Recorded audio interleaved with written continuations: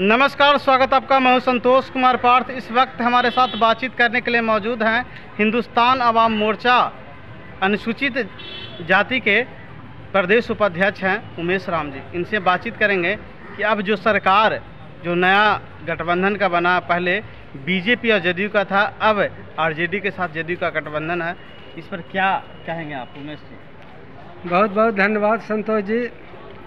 मैं कहना चाहता हूँ कि पहले जे इस सरकार के विपक्षी थे, तेजस्वी यादव, वो कहते थे कि नीतीश चाचा पलटू पलटू चाचा हैं। आज वही पलटू चाचा के चक्कर में पड़ करके गठबंधन कर लिए हैं। जे भी विपक्ष में गरीबों गुरबा के लिए महँगाई पर बोलते थे शिक्षा पर बोलते थे, वह आज कोई भी नेता शिक्षा महँगाई पर बोलने के लिए नहीं है सभी को और सभी से थे जे नीतीश सरकार है सभी को मुँह बंद कर दिए हैं कि कोई गरीब के प्रति कोई नेता बोल नहीं सके। इसलिए बोलने वाला भी इसमें से जितना भी पार्टी है कोई नेता बोलने के लिए अब कैसा लग रहा है? पहले विपक्ष की भूमिका में थे अब सत्ता की भूमिका में है। अब तो सत्ता के भूमिका में है तब उनका तो मुँह बंद हो गया। इसीलिए अब वो विरोध नहीं करेंगे। पहले तो कहते थे कि नीतीश जी, हमारा पिताजी को जेल में दे दिए हम भी जेल में किसी न किसी बहाना कर करके जेल में उनको करेंगे। कहा कि वो भी घोटाले से अथी हैं। घोट- घोटालेबाज हैं हर चीज़ में, हर तरह में, जैसे जनधन योजना हरियाली योजना, सब में वो घोटाला में फंसे हुए हैं। अखनी कंधा में कंधा मिला करके चल रहे हैं, इसलिए अब उनको भी मनसा ख़त्म हो गया है कि अब जे भी हैं सही आदमी जे भी हैं वो हमारा नीतीश चचा हैं। तो लोगों को अब लग रहा है कि नीतीश के बिना बिहार का विकास नहीं हो सकता। नहीं ऐसी कोई बात नहीं है। नीतीश के बिना विकास हो सकता है। बशर्ते ये संविधान चलाने वाले अगर अच्छा आदमी होंगे अच्छा अथी पर बैठेंगे वह अच्छा से चलावेंगे।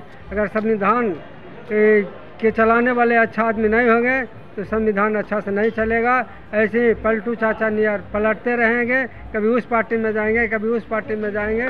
गठबंधन अपने तो शक्ति है नहीं तो गठबंधन कर करके सरकार चलावेंगे। तो अब तो अब उस पार्टी में आप भी आ गए हैं, जहाँ आप सत्ता में आ गए हैं, मुख्यमंत्री वही का वही रह गए। लेकिन गठबंधन राजद के साथ हो गया, अब हिंदुस्तान अवाम मोर्चा भी आ गया, जिसके मांझी जी पूर्व मुख्यमंत्री रहे हैं। हमरा जो माननीय मुख्यमंत्री जे, पूर्व मुख्यमंत्री जीताराम मांझी हैं, वो गरीबों के मसीहा हैं। गरीबों के लेकर के हर पल पर चलते हैं, हर समय सोचते रहते हैं कि गरीब का उत्थान कैसे हो, कैसे जागरूक होगा। ये चिंतन मनन करते रहते हैं। गठबंधन तो है, हर आदमी चाहता है तो एकदम कमज़ोर है, इसीलिए किसी न किसी को सहारा लेकर के चल रहे हैं। और ऐसे व्यक्तिगत उनका इच्छा नहीं है कि हम गठबंधन के लेकर चले। अगर सभी दलित महादलित सब अगर साथ दे देगा तो माननीय जीताराम मांझी कभी गठबंधन से जुड़ करके काम नहीं करेंगे। क्या लगता है कि अकेले कभी वो मुख्यमंत्री बना पाएँगे जीतन मांझी जी? अगर सभी दलित महादलित अगर चाह लेंगे तो बना ले सकते हैं।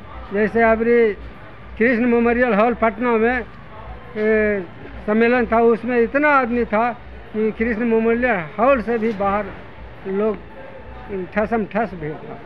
इसलिए हमारा पूरा उम्मीद है कि अगर दलित, महादलित सब लोग चाह लेंगे तो माननीय जीतन राम मांझी भी मंत्री बन सकते हैं बिहार के।